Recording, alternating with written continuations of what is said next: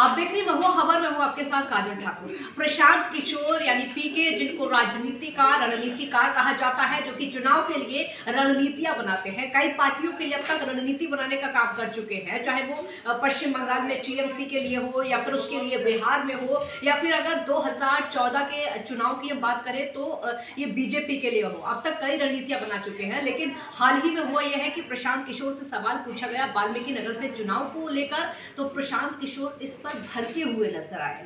दरअसल प्रशांत किशोर ने कहा कि मैं जब चाहूँ तब सांसद बन सकता हूँ, जब चाहूँ तब मैं चुनाव जीत सकता हूँ, मैं जब चाहूँ लोकसभा जा सकता हूँ, जब चाहूँ राज्यसभा जा सकता हूँ, ये सब कुछ मेरे हाथ में है। और उन्होंने तो यहाँ तक कह दिया कि चाहे मुझे कांग्रेस टिकट दे, या फिर बीजेपी टिकट दे, या फिर कोई भी पार्टी टिकट दे, मैं जीत कर ही आऊँगा। और ऐसा नहीं है कि मैं वाल्मीकि नगर से ही चुनाव लड़ूं तो वहीं से जीतूँगा। यहाँ का तो कोई सवाल ही नहीं है।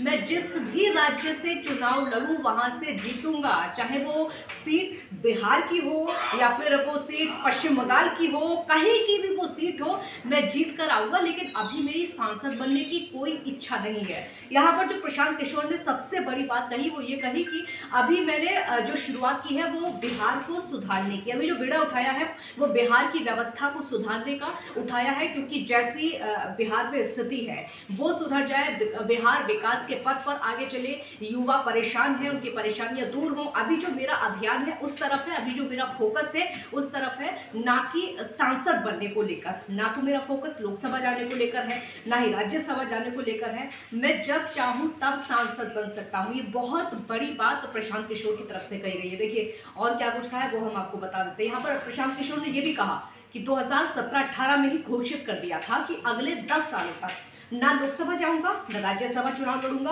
उन्होंने दावा किया है कि लोकसभा लड़ना होता तो इसके लिए वाल्मीकि नगर जाने की ज़रूरत नहीं थी। मैं कहीं से भी चुनाव लड़ सकता था, मैं किसी भी सीट से लड़ सकता था, लेकिन इसमें दिलचस्पी नहीं है, सांसद बनने की दिलचस्पी नहीं है, ना तो लोकसभा जाना है, ना ही राज्यसभा जाना है। अपनी अपने टारगेट को पूरा करना, देखिए बिहार में पिछले अट्ठारह महीनों से।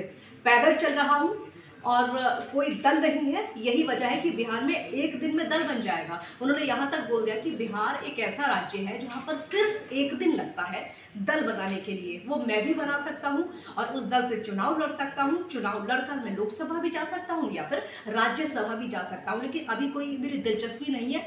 अभी जो मेरा अभियान है, वो बिहार को सुधारने का है और मैं इसको करके रहूँगा। यही वजह है कि वाल्मीकि नगर से चुनाव लड़ने को लेकर जब प्रशांत किशोर से सवाल पूछा गया तो वो इसी पर भड़के हुए नज़र आए। क्योंकि अभी प्रशांत किशोर की कोई दिलचस्पी नहीं है। आपने रणनीतियाँ बनाते हुए देखा होगा। कई पार्टियों के लिए रणनीतियाँ बनाते हुए प्रशांत किशोर को देखा होगा। लेकिन चुनाव लड़ने के लिए अभी साफ़ मना कर दिया है आने वाले दस सालों तक। ना तो लोकसभा और ना ही राज्यसभा। इस रिपोर्ट में फ़िलहाल इतना ही। आपको ये रिपोर्ट कैसी लगी?